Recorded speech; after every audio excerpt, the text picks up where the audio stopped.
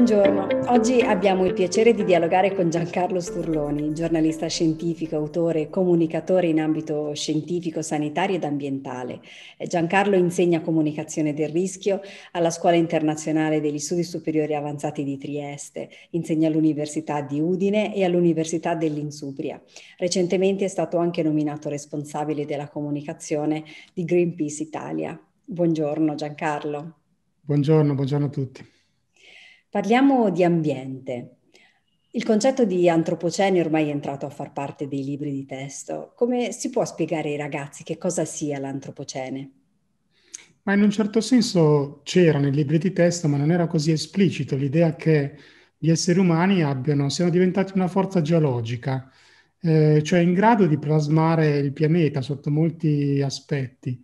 E lo si può raccontare in due modi. Uno forse un po' distante, ma, ma curioso, immaginare un geologo del futuro che tra milioni di anni arriva sul nostro pianeta, scava, più si scava più si va indietro nel passato, più si trovano le tracce del passato.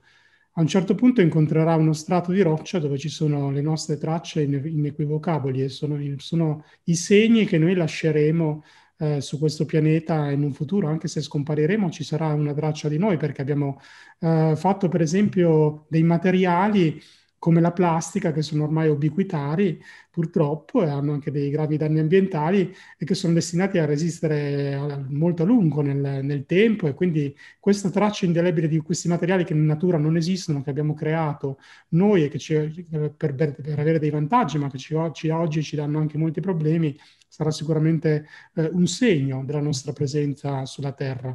Ma ce ne sono molti altri, alcuni molto curiosi, altri eh, meno evidenti. Per esempio, Uh, le tracce dei nostri test nucleari, quindi i radionuclidi, che abbiamo, i test che abbiamo iniziato a condurre in atmosfera negli anni 50. Ci sono le tracce del, dell'incredibile quantità di cemento che noi utilizziamo per costruire le strade, le città, le infrastrutture. Pensate che addirittura stiamo finendo la sabbia a forza di fare cemento, cioè la, quella, la parte di quella sabbia utile che non è quella del deserto, ma quella prevalentemente che troviamo sulle spiagge o nei fiumi, che ha delle dimensioni dei granelli più utili per fare eh, appunto il cemento, eh, ne abbiamo sempre meno, eh, dobbiamo, a volte ci sono stati addirittura che la importano da altri paesi.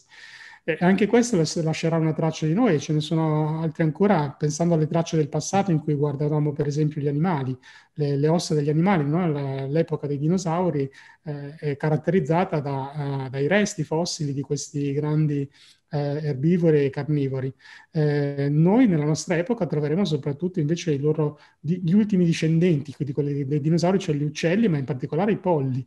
Eh, alleviamo così tanti polli per la nostra alimentazione che in peso su una bilancia sono circa il 70% di tutti gli uccelli che oggi vivono sulla Terra e le loro ossa saranno un segno inequivocabile di un momento in cui noi abbiamo fondato sui polli una parte importante della nostra dieta un modo, diciamo, più vicino a noi di, di, comprendere il problema è guardarlo direttamente. Quando parlavo della plastica, per esempio, parlavo del fatto che è entrata nel ciclo dell'acqua, per esempio, che è qualcosa che si studia già eh, molto presto, no? una, una, cosa, insomma, è sempre stata nei libri di testo eh, il ciclo dell'acqua, ma oggi nel ciclo dell'acqua c'è anche la plastica.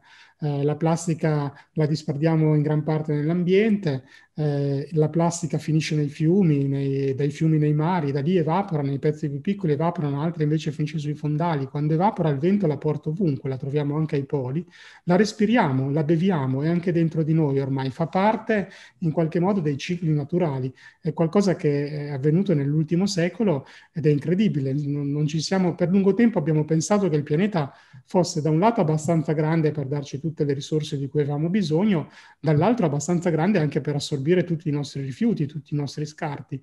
Beh, non è così, abbiamo, siamo vicini all'esaurimento di molte risorse, alcune sono tra l'altro non rinnovabili, come per esempio un problema che, che, ci è dato dai combustibili fossili, per esempio, che abbiamo tra l'altro introdotto quando stavamo in Inghilterra e negli Stati Uniti, stavamo finendo gli alberi, per dare un'idea di quanto siamo voraci.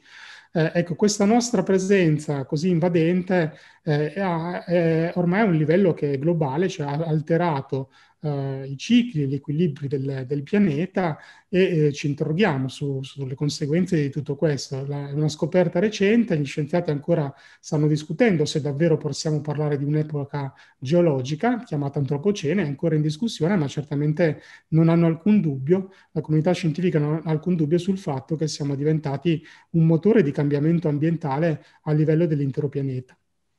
Può farci tre esempi, a suo parere, significativi per avvicinare i ragazzi al tema della sostenibilità?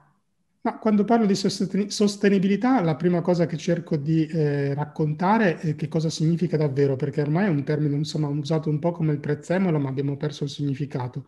Eh, deriva da mm, sustain, cioè la, qualcosa che dura nel tempo. Quindi la domanda quando parliamo di sostenibilità con le nostre azioni con, eh, è se questo potrà durare ancora nel tempo, se, se, facciamo cose che non permetteranno alle generazioni future di rifare le stesse cose, di godere anche degli stessi benefici che noi oggi abbiamo. Questo è diciamo, un concetto molto importante, ci dobbiamo interrogare perché è un, un, concetto che riguarda anche l'equità, riguarda l'equità soprattutto la giustizia, soprattutto delle generazioni più giovani, quindi sono ovviamente i ragazzi e le ragazze che devono uh, chiedersi eh, se quello che diciamo stanno ereditando è un mondo sostenibile, cioè che durerà anche per loro, in cui anche loro potranno godere degli stessi benefici che la natura ci offre, oppure no.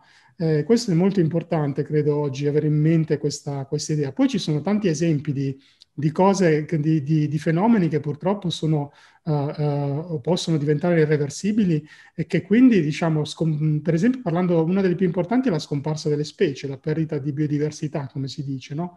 Dall'invenzione dell'agricoltura, cioè circa 10.000 anni fa, le attività umane si stima che siano responsabili una, della scomparsa di una specie vivente circa ogni, una ogni 20 minuti ogni 20 minuti che passano, la nostra chiacchierata forse durerà un tempo del genere, ecco, ci siamo persi una specie su questo pianeta a causa nostra, a causa del nostro impatto sul, sugli ecosistemi naturali. Eh, questo eh, non riusciamo neanche a percepirne la gravità, no? Però è un fenomeno irreversibile questo, che, che, viola appunto la, la, la sostenibilità. E noi non sappiamo, è molto complicato capire quanto davvero perdiamo, perché quando perdiamo per esempio una specie arborea, quando perdiamo una specie di albero, non perdi solo l'albero, perdi anche il riparo per gli animali che, che ci vivono, quelli, gli animali che, ci, che, che ne, ne, traggono nutrimento. Quindi c'è un processo a catena. C'era Paul Ehrlich che raccontava sempre questa, questa immagine. Immaginate di essere lì che state per prendere un aereo e immaginate che c'è un meccanico che ogni volta che prendete aereo lo vedete lì sulla pista che toglie, toglie una vite. Eh, due, tre, quattro volte a un certo punto, prima di salire, andate lì e chiedete: ma, ma, perché ogni volta toglie? Ma guardi, io la tolgo perché tanto poi l'aereo vola sempre, non è mai successo niente. Eh, ma fino a quando non succederà niente? Fino a quando diciamo, ci sarà quella vite che invece ci impedirà di poter godere di quello di cui di poter godere fondamentalmente dei beni naturali che sono anche un fondamento per il nostro benessere la nostra sopravvivenza. C'è una questione ovviamente etica, morale, ma c'è anche una questione banale che noi non siamo da soli, noi facciamo parte di, quelle, di quell'aereo, di quell'ecosistema, perciò riguarda come anche noi. Avrebbe delle proposte di esercitazioni da suggerire ai docenti e da proporre ai ragazzi in classe sul tema della sostenibilità ambientale? Sì, ehm, io non sono un esperto di questo, ma a me piace moltissimo, per esempio, l'idea che si sta diffondendo anche in Italia del, del, debate, del dibattito. Eh, l'idea di prendere un tema che può essere affrontato anche da punti di vista diversi e, e dibatterne a gruppi, immaginando anche di invertirsi a un certo punto, no? chi ha preso le difese di una certa posizione cerca di passare dall'altra parte e capire anche quali possono essere le ragioni che stanno dall'altra parte. È molto utile, i temi ambientali secondo me si prestano perché ci sono eh, molte tematiche controverse o comunque legate a tante incertezze, a tanti, alla difficoltà anche di, immaginare le soluzioni.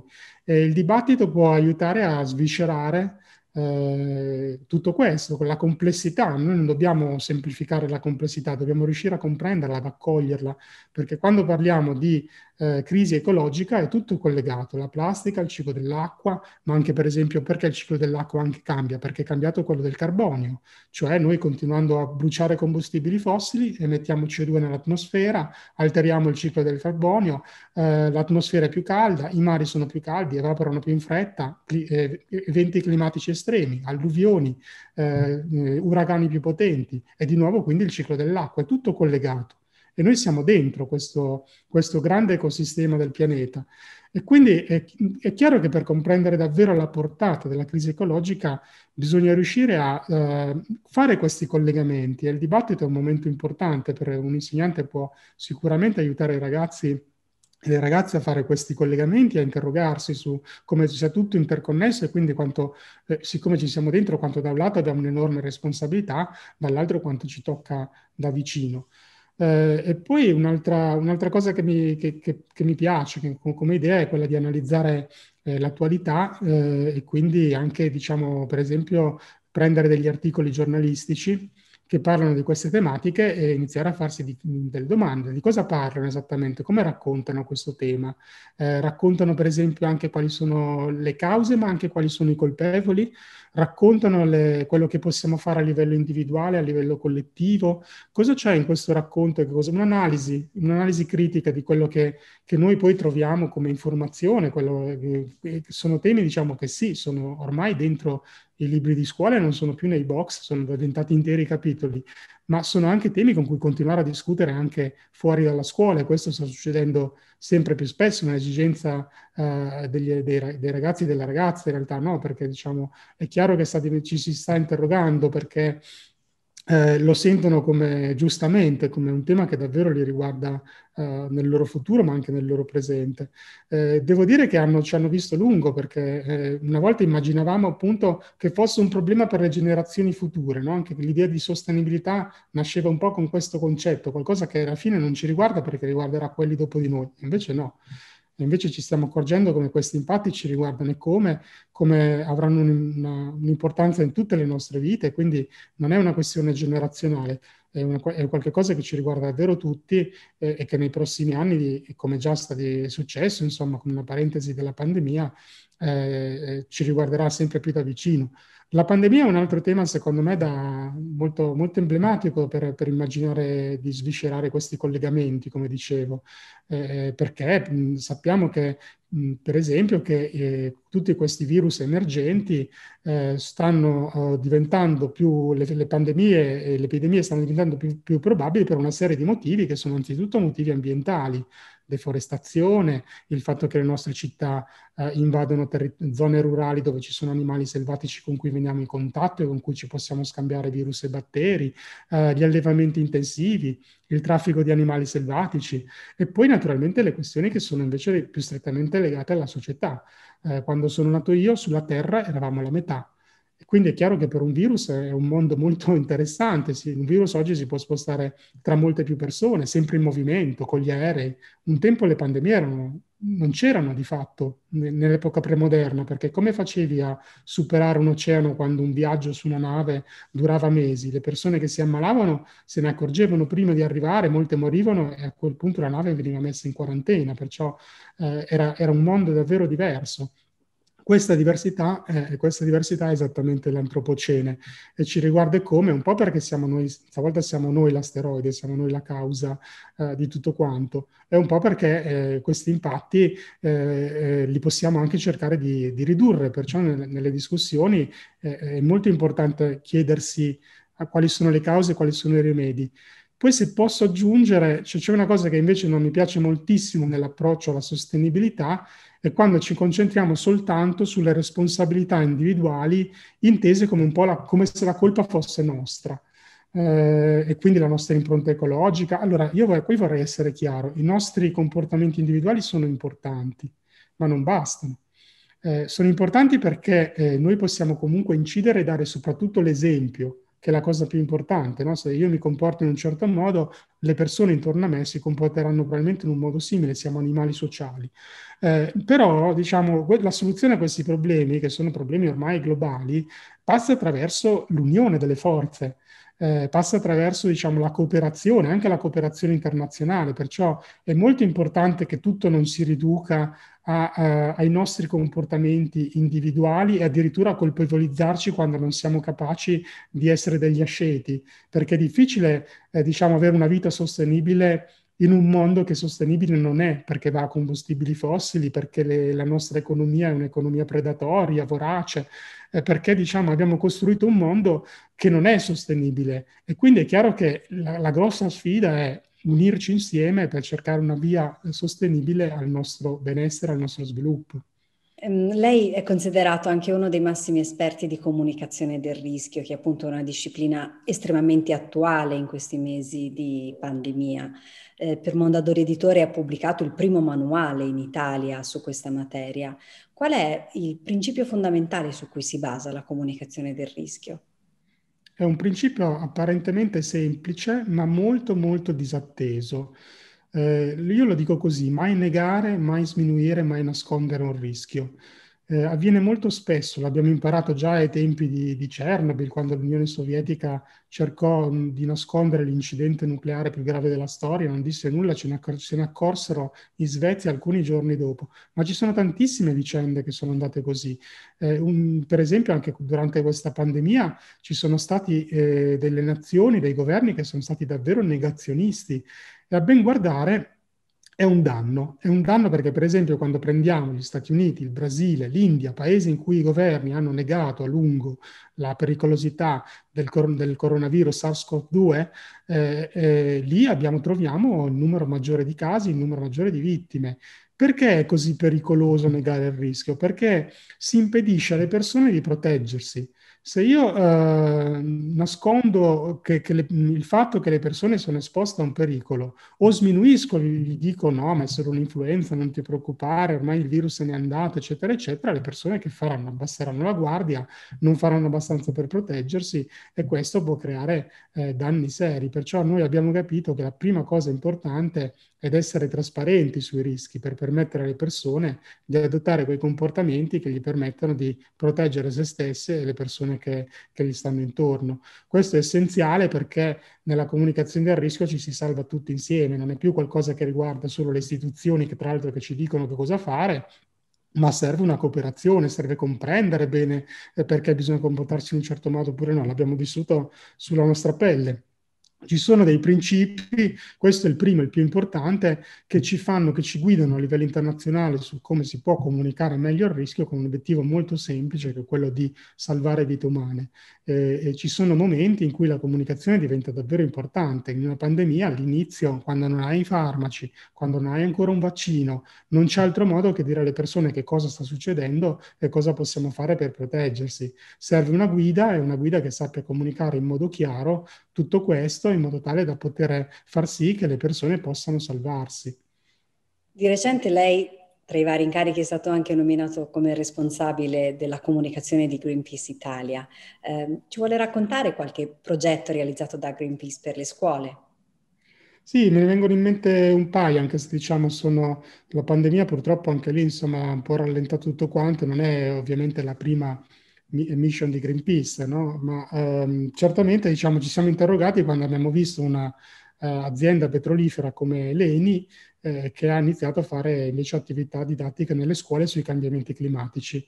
E, e allora ci siamo chiesti, beh, insomma, accidenti, lo fa l'ENI e, e noi n- non facciamo niente. Questo per noi è diventato anche se io penso che in futuro dovremo impegnarci anche di più su questo fronte. Eh, posso citare appunto un'iniziativa che si chiamava Scuola di Clima, eh, che, che, appunto cercava di, di, mettere a disposizione degli insegnanti, si può ancora trovare sul sito di Greenpeace sotto la, la parte eh, climatica, eh, a disposizione degli insegnanti delle, delle, slide e materiali per spiegare che cos'è, cosa sono, cos'è il riscaldamento globale, cos'è la crisi climatica. E ce n'era un'altra iniziativa che ricordo che si chiama Kids for Forest, che invece è più un'attività ludica, non più in forma di gioco per i bambini più piccoli, eh, che invece racconta ehm, eh, delle foreste, della loro importanza appunto come, come ecosistema eh, cruciale insomma, per, per, tutti noi, per tutti gli esseri viventi di questo pianeta, perché sono un po' il polmone del pianeta.